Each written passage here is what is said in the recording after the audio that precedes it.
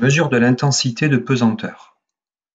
Pour faire cette expérience, vous aurez besoin d'une règle, d'une bille, d'un crayon ou un stylo, de l'application Fifox installée sur votre smartphone, l'expérience chronomètre sonore, et enfin d'une table suffisamment haute pour faire chuter la bille.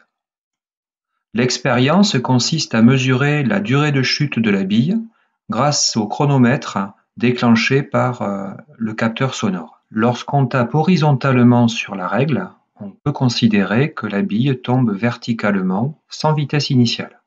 Le premier son détecté correspond au départ de la chute. Le deuxième son détecté doit être l'arrivée de la bille sur le sol. Connaissant la hauteur de la chute et sa durée, on peut trouver l'intensité de pesanteur grâce à cette relation.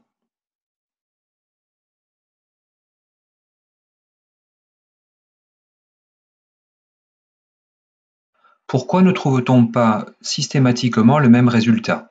Les variations aléatoires peuvent s'expliquer par les incertitudes de mesure.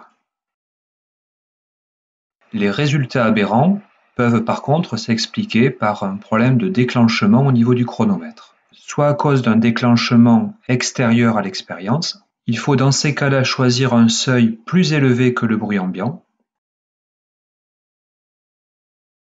ou alors le délai minimum n'est pas adapté, il faut l'augmenter si le son de déclenchement est trop long, mais le délai minimum doit être toujours inférieur à la durée de chute à mesurer.